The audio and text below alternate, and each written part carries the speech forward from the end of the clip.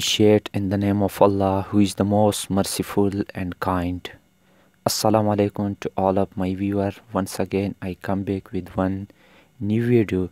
Today, in this video, I'm going to tell you so how can we practice reading books.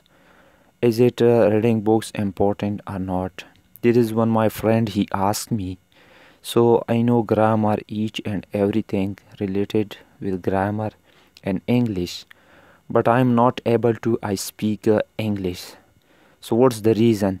So my dear viewer the reason is that we are not uh, doing more and more practice. We are not consistent.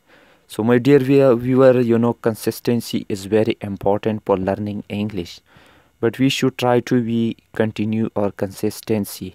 So time will come inshallah you will speak fluently in english. So first of all my dear viewer we should focus on consistency consistency is very important for every learner. So if i talk about uh, myself you know when i was uh, you know in the initial time in the beginning so on that time i was not able to i speak uh, you know few words in front of camera in front of someone. Then after uh, i suggested uh, so inshallah day after i will start practice. Daily basis i will speak uh, few words to in front of camera in front of people i will must start speaking.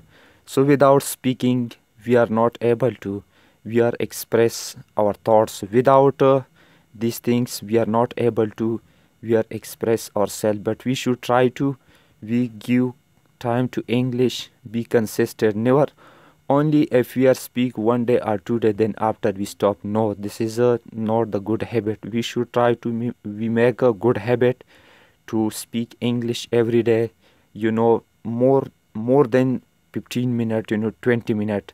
At least one hour we will must speak english. You know one hour is required for every learner. As much as you can do but we should try to we give more time to english